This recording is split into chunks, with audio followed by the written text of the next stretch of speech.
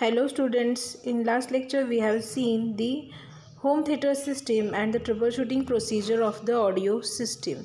Then in today's lecture we are going to see the block diagram of MP3. Then what is mean by MP3? MP3 stands for MPEG 3, MP4 stands for MPEG 4. These are the compression technique.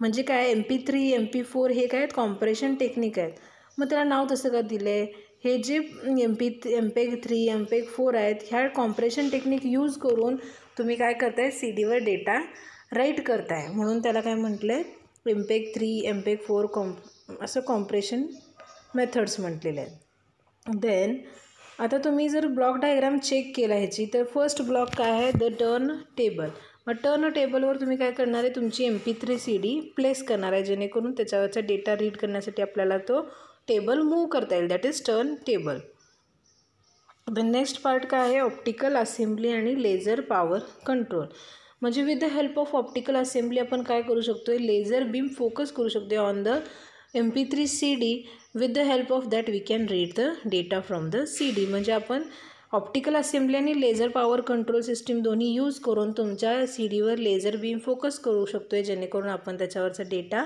Read करेन. Then next काय जे काही reflections असणार आहेत ते काय करणार आहे? द प्रोग्रॅम स्ट्रीम रीडर हा जो ब्लॉक आहे तो काय करणार आहे? तो ते सगळा डेटा काय करणार आहे? रीड करणार आहे. आणि त्याच्या आउटपुटला काय मिळणार? आपल्याला कॉम्प्रेस्ड डिजिटाइज्ड ऑडिओ सिग्नल आपल्याला मिळणार आहे. म्हणजे काय? तुमच्या सी डीवर कुठल्या फॉर्मॅटमध्ये असणार आहे? कॉम्प्रेस्ड फॉर्मॅटमध्ये असणार आहे. एम पी थ्री कॉम्प्रेशन टेक्निकच आहे ना? मग जो काही तुमचा कॉम्प्रेस्ड डेटा असणार आहे तो तो आपल्याला कोण देणार आहे? प्रोग्राम स्ट्रीम रीडरच्या आउटपुटला आपल्याला मिळणार आहे. Pro that is compressed digitized audio लक्षात येते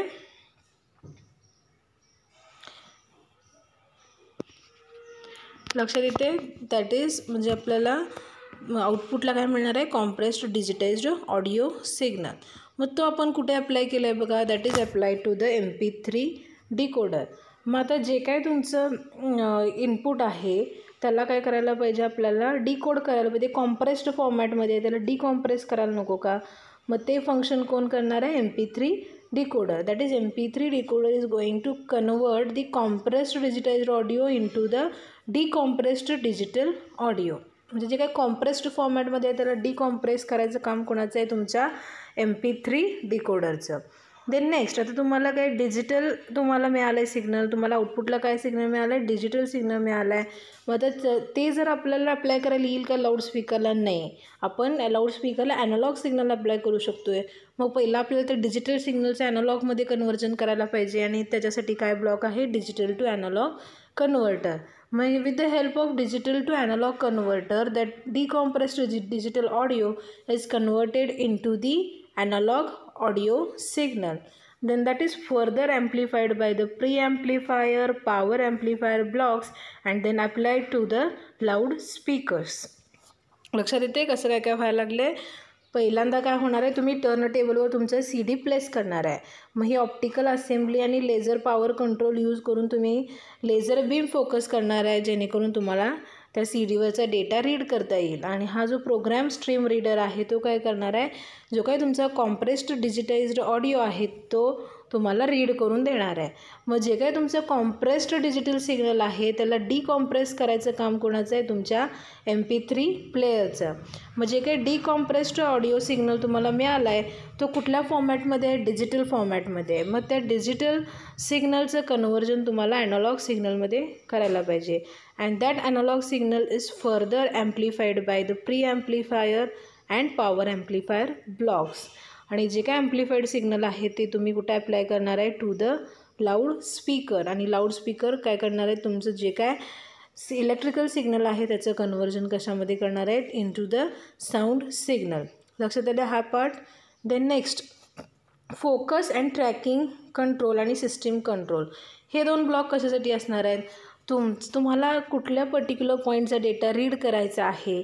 म्हणजे त्यासाठी तुम्हाला ट्रॅक करायला लागणार ना? मग ते कंट्रोल कोण करणार आहे? These two blocks that is focus and tracking control आणि सिस्टीम कंट्रोल म्हणजे जे जसं जसं तुम्ही रीड करत बाहेर जाणार आहे तसं तुमचं सी डीमध्ये डेटा कसा असतो आहे स्पायरल फॉर्मॅटमध्ये असतो आहे मग तुम्हाला व्यवस्थित ट्रॅक करायला पाहिजे ना? तुम्ही कुठल्या कुठला डेटा रीड करणार आहे कुठला नाही? ते काम कोणाचं आहे? Focus and tracking control system then the next part is the I R processing unit and manual touch keypad म्हणजे तुमचं जे काही रिमोट सिस्टीम असणार आहे ते कंबाईनली कोण वर्क होणार आहे? आय आर प्रोसेसिंग युनिट आणि मॅन्युअल टच कीपॅड लक्षात आलं आहे आणि लास्टचं ब्लॉक काय होता तुमचा? S M P S S M P S म्हणजे काय? स्विच्ड मोड पॉवर सप्लाय म्हणजे तुमचं जी ही हे जे ब्लॉक्स आहेत त्याला वेगवेगळं वोल्टेज लागते एकाला बारा वोल्ट लागते एकाला पाच वोल्ट लागते. मग जे काही तुमचे ए सी मेन्स आहे टू थर्टी वोल्ट त्याचं तुम्हाला एस एम पी एसच्या आउटपुटला दोन ह्याच्यामध्ये कन्वर्ट केलं असते. बारा वोल्ट आणि पाच वोल्ट आणि ज्याला ज्या ब्लॉकला जेवढं व्होल्टेज रिक्वायर्ड आहे ते व्होल्टेज त्याला ॲप्लाय केलं जाते. Then C P U unit हा काय करणार आहे? सगळ्या तुमच्या ब्लॉक्सवर कंट्रोल ठेवायचं काम कोणाचं आहे? सी पी यू युनिटचं लक्षात येते आता आपण परत एकदा त्याचं वर्किंग काय तुम्हाला सांगते मी. फर्स्ट पॉईंट काय initially the optical assembly he and the laser power control circuit is used to read the data from M P three C D म्हणजे तुमच्या एम पी थ्री सी डीपासून डेटा रीड करण्यासाठी तुमचं काय ही optical assembly आणि laser power control circuitry असणार आहे. देन नेक्स्ट काय program stream reader reads the data from the C D gives the compressed digitized output जो काय तुमचा प्रोग्रॅम स्ट्रीम रीडर आहे तो काय करणार आहे? डेटा रीड करणार आहे फ्रॉम द सी डी आणि तुम्हाला काय देणार आहे? कॉम्प्रेस्ड डिजिटाइज्ड ऑडिओ सिग्नल त्याच्या आउटपुटला देणार आहे. द नेक्स्ट पार्ट काय this is apply to the M P three decoder which performs decompression operation and gives decompressed digital audio at the output म्हणजे तुमचा एम पी थ्री डिकोडर आहे तो as a डिकॉम्प्रेसर म्हणून वर्क व्हायला लागला आहे आणि तुम्हाला ॲट द आउटपुट काय मिळणार आहे? डिकॉम्प्रेस्ड डिजिटल ऑडिओ सिग्नल मिळणार आहे. मग देन काय नेक्स्ट ब्लॉक काय आहे? तुम्हाला तो कुठल्या फॉर्मॅटमध्ये मिळाला आहे डिजिटलमध्ये मिळाला आहे मग लाऊडस्पीकरला अप्लाय करताना ॲनालॉगमध्ये करायला पाहिजे. म्हणून काय आहे ते ते कन्वर्ट केलं आहे into analogue form by the digital to analogue converter then this is further amplified by pre amplifier power amplifier and apply to the loudspeaker म्हणजे हे आपण काय केलं आहे पुढं सगळं प्रोसेस केलं आहे ॲम्प्लिफाय केलं आहे आणि ते आपण लाऊडस्पीकरला ॲप्लाय केलं आहे द नेक्स्ट ब्लॉक आहे the S M P S power supply is used to supply the power to all the blocks of the M P three player म्हणजे एस एम पी एस काय केले जे different blocks आहेत आपल्या M P three प्लेअरचे त्याला power supply apply करण्यासाठी use केलेलं आहे. The next part is the the manual touch keypad and I R processing unit is combinedly used as a remote control म्हणजे जे काही तुमचं मॅन्युअल टच कीपॅड आणि आयर प्रोसेसिंग युनिट आहे ते दोघं कंबाईनली आपण काय म्हणून यूज केलं as a remote control circuitry लक्षात आलं आहे working of the block diagram of M P three काय नाही आहे सिंपल आहे. फर्स्ट फर्स्ट जो काय आहे तुमचं M P three C D आहे तो तुम्ही टर्न टेबलवर प्लेस करणार आहे.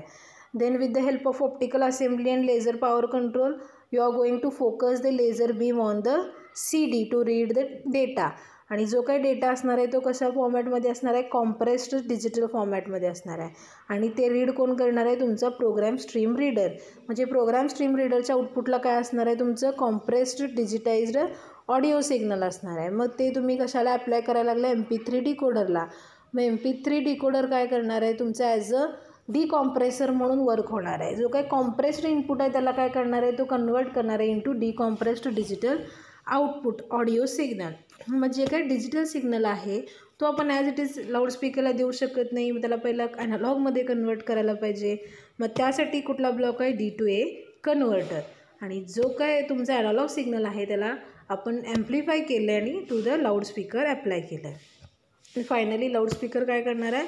जो काय तुमचं इलेक्ट्रिकल सिग्नल आहे त्याचं कन्वर्जन साऊंड सिग्नलमध्ये करणार आहे. लक्षात येतं आहे आणि क एस एम पी एस काय? पॉवर सप्लाय अप्लाय करण्यासाठी आणि आय आर प्रोसेसिंग युनिट आणि मॅन्युअल टच कीपॅड जे आहे ते तुमचं as a remote control circuitry म्हणून वर्क होणार आहे. देन ही सुद्धा एक ब्लॉक डायग्रॅमच आहे एम पी थ्री प्लेयरची जर तुम्हाला वाटत असेल तर तुम्ही ही पण डायग्राम ड्रॉ करू शकताय.